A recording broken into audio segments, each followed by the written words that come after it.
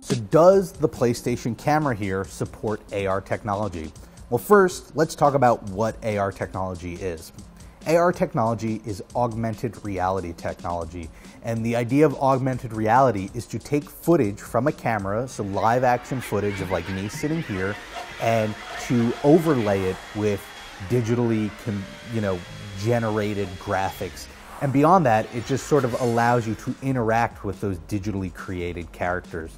So the Playroom is actually a fantastic uh, example of AR technology. In fact, that's sort of what it was made for. The idea of being able to hold the controller in my hand and have an extension of the menu that's completely digital uh, pop up, and then I can go through that menu and interact with it. That's AR technology. So this does support it. In fact, AR technology is really more of a software side uh, technology. So uh, really, most cameras will support it. It's the software you have to wonder about. And seeing as how the Vita supports AR technology, seeing as how uh, that's something pretty much any camera, you actually can do that with most smartphones. You can have apps that use AR technology. Um, it's a given that the PlayStation 4 would support it as well.